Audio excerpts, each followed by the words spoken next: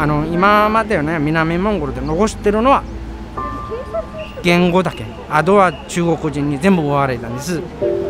これを言語だけを守りたいです。すごく幸福感感じます。リスクも高いかな帰ったらまた捕まれるかなというリスク。でも私の場合は中国の法律以内に自分のモンゴル語を守っているから。これは中国何言ってもゼロ。無視という感じで。例えば想像してください。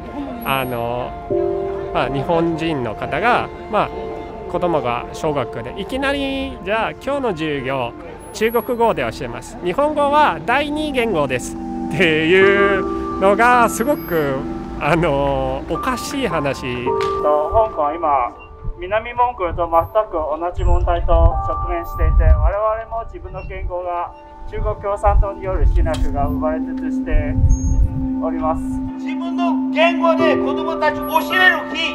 それが続ける保証があるまで一緒に頑張りましょう。